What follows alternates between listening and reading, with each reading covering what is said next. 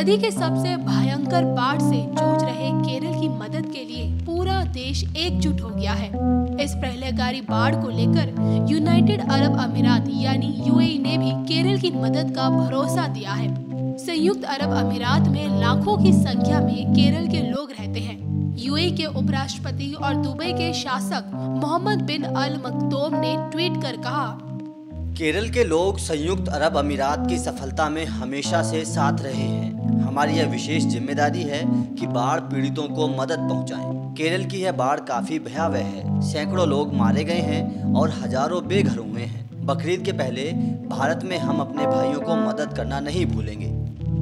मोहम्मद बिन ने अरबी, मलयालम और इंग्लिश तीनों भाषाओं में केरल की मदद के लिए एक के बाद एक कई ट्वीट मोहम्मद बिन के अलावा शारजहां के शासक सुल्तान बिन मोहम्मद अल कासमी ने केरल के बाढ़ पीड़ितों की मदद के लिए चार करोड़ रुपए दिए।